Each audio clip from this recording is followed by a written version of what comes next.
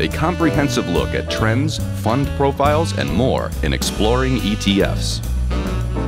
Hi, everyone. Welcome to Exploring ETFs.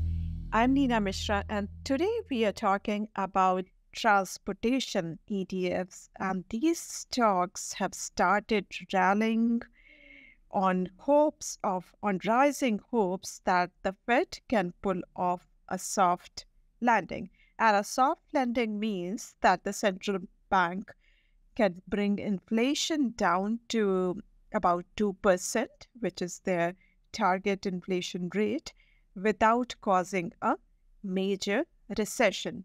And some of the recent economic reports show that that goal is possible now.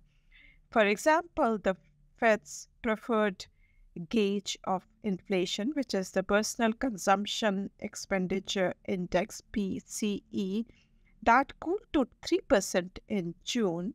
And uh, the unemployment rate uh, remains at 3.6% record low rate. Uh, despite Fed's aggressive rate hikes, the labor market has remained very tight.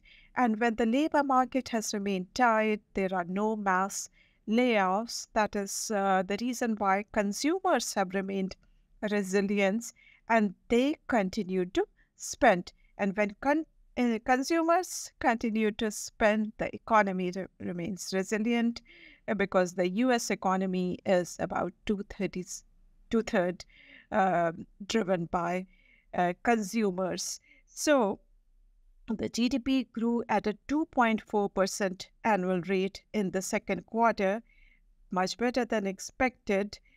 And uh, the Fed, uh, we learned from the latest FOMC minutes that the Fed is no longer projecting a recession. And in fact, uh, the Fed uh, chair, uh, Powell said that uh, he remains optimistic that the central bank can bring inflation down without causing a deep economic downturn. And the IMF also raised its 2023 US growth prediction uh, in its latest World Economic Outlook. And finally, CEOs, uh, because management uh, conference calls are watched very closely by experts, by investors, as well as traders. So, so far in second quarter earnings calls, CEOs have been optimistic about the soft landing and uh, they are hoping that the US will not see a recession this year and hopefully not even next year. So, talking about the transportation sector, so this sector is seen as a barometer of economic health uh, because these are companies uh, which are in various diverse uh, sub industries like airlines, railroads, trucking, etc. These are very economically sensitive. Uh, so these uh, sub industries are driven by factors like passenger travel demand, uh, e commerce growth. Oil prices are a major factor for this particular sector. And the impressive uh, thing is that the sector has continued to do, do well, even though oil prices have been rising for the past few weeks, particularly past uh, eight weeks or so. So, despite rising oil prices, this uh, transportation stocks continue their rally. Now, let's take a look at three ETFs, which are quite different from one another because of their the indexes that they tra- track and their weighting methodology, and that is uh, the reason for a slight difference in their performances. So you should always look at uh, the weighting methodology and uh, the holdings of an ETF with, before deciding to buy. So that's why I show those to you. Now, the first one which I'm highlighting is by iShares. It is the most popular product uh, in the space. The ticker symbol is IYT. It follows a modified market cap weighted index, has 46 holdings, 1.2 billion in assets, and 39 basis points expense ratio. Let's take a look at the ETF by going to the quote page on Zacks.com. You can read our research report articles and using the link, you can go to iShares web page for the ETF. Uh, so you it will hold provide exposure to US airlines, railroad trucking companies, etc. And if you look at uh, the holdings and sector exposure, uh, you will see that air freight and logistics is the biggest sub industry within this ETF, then rail transportation and cargo, ground tra transportation after that, passenger airlines.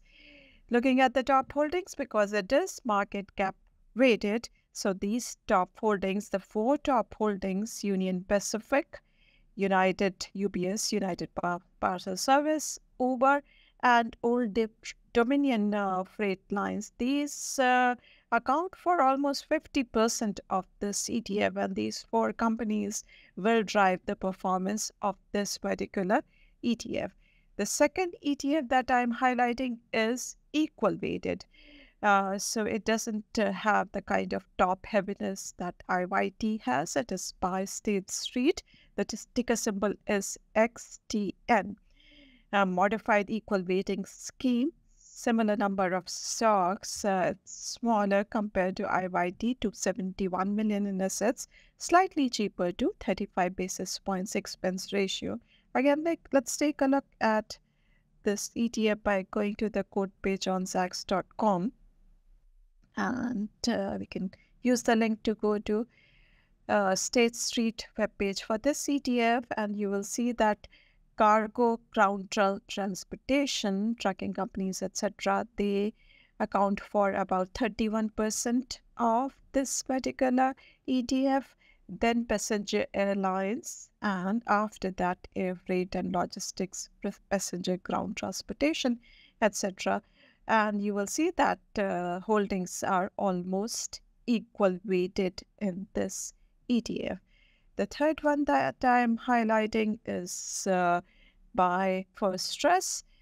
Uh, the ticker symbol is FTXR.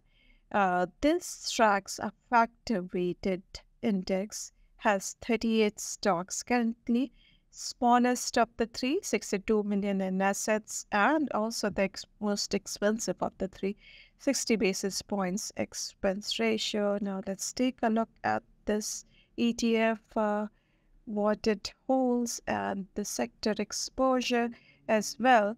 So, as I mentioned, it uh, follows a factor weighted index. So it uh, looks at factors like trailing 12 month return on assets, tra trading 12 months gross income, uh, and then price momentum over the past 3, 6, 9, and 12 months. And then uh, it, the, these uh, uh securities that are selected, they are weighted based on their trailing 12 month cash flow. Uh, so now looking at the sector exposure, uh, it holds uh, delivery services uh, at automobiles, railroads. These are the top sub industries within this ETF. And if we look at the top holdings, FedEx, Tesla, UPS, and Union Pacific, these are the top holdings in this ETF. And then I have uh, the performance over the past 12 months. So over the past 12 months, you will see that uh, the two, the first two ETFs by iShares and State Street, IYT and XTN, uh, they have both outperformed the S&P 500 index. Uh, they they have delivered somewhat similar performances, up about 18, 19 percent. Uh, the S&P 500 index is up about 14% over the past 12 months, and the First Trust product has slightly underperformed mm. the S&P 500 index. On the second slide, or the next slide, I have the performance over the past two months, uh, where these ETFs have really taken off. Uh, so you will see that I the uh, the equal weighted ETF uh, XTN is up about 21% over the past two months. IYT is up about 19%, and uh, First Trust product is also up, uh, has delivered somewhat similar performance, up about 19%, whereas the S&P 500 index is up a little less than 9% over the past two months. Thanks for watching. Make sure to check out zacks.com slash promo for an interesting offer.